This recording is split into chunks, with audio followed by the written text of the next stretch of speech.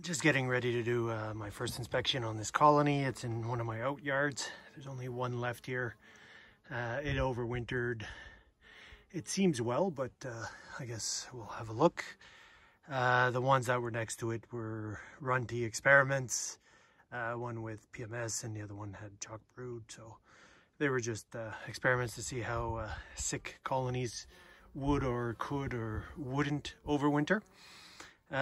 it's close to 7 p.m. now. It's still warm.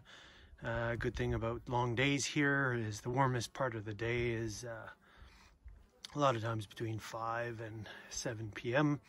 So yeah, I'll clean them up. I'll uh, put a top feeder on, put a shim for my patties, and I'll I'll put two pounds of patties on it. Uh, nothing blossoming yet. Uh, it's uh, it's still pretty bare out there.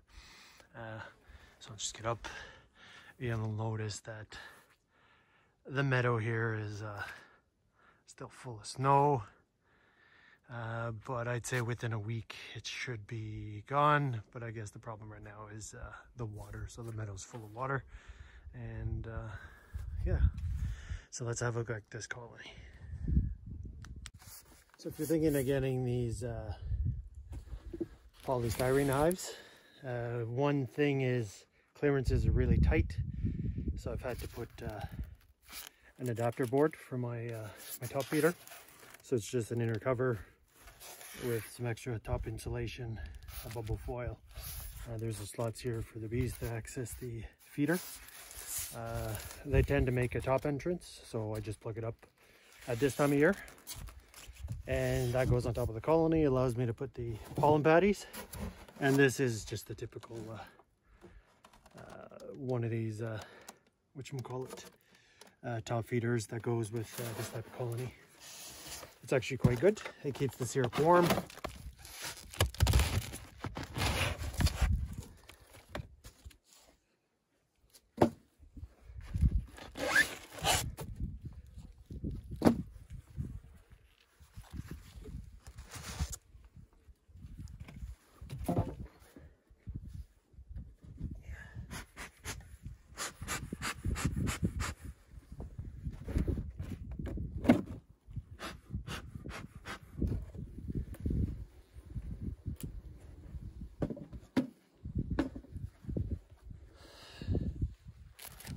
Okay, let's have a look. So this colony here, I'd given them two pollen patties uh, a few weeks ago.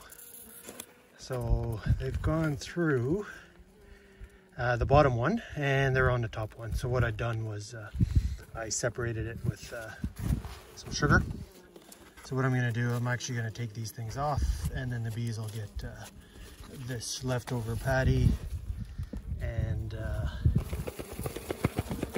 basically two more patties because I'm on another business trip. So, and there's nothing in the environment. So basically they need stuff for the next uh,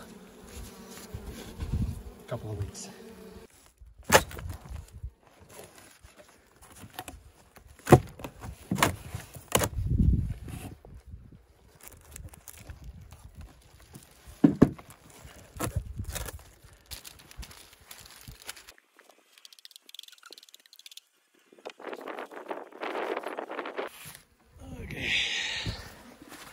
Let's have a quick look at this.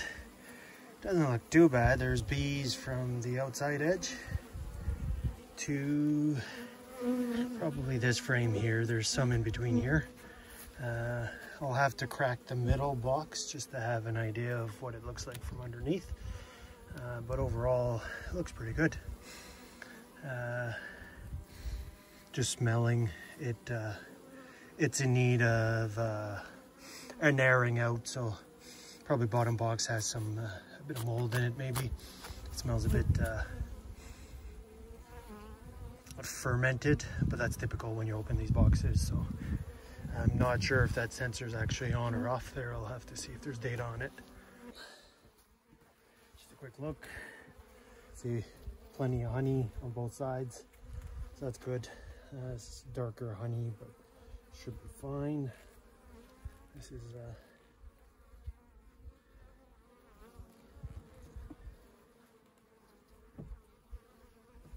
Okay, so let's have a look at uh, next one.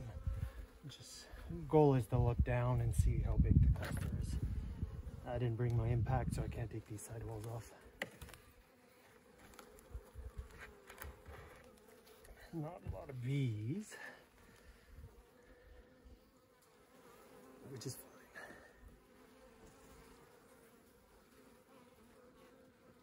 Okay,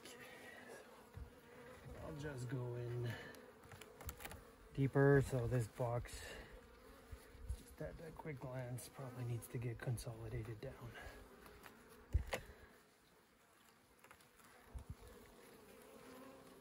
That's better.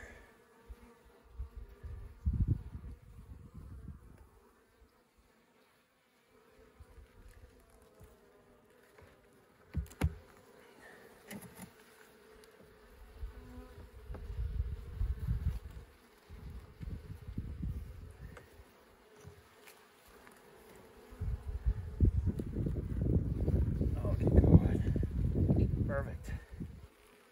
Let's see, there's a start of a brood nest there, so they're on their way. There's cap brood. So it's exactly what I was looking for. Some mini larvae. They're able to maintain a decent sized nest. So check is done. That was four frames in. So they probably have a three frame uh, brood nest. So close them up, pack them up, and uh, leave them be.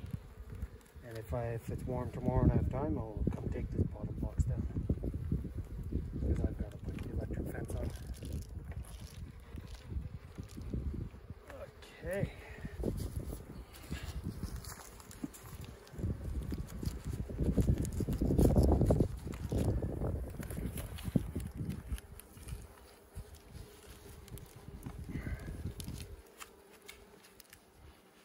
Pound patties. Got the old one.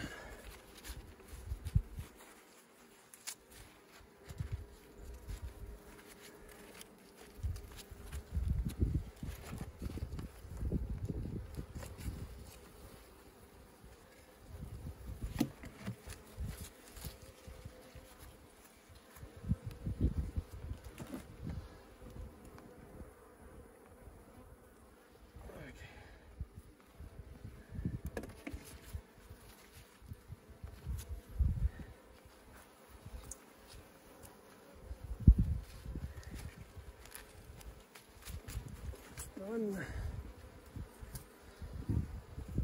shake of these bees.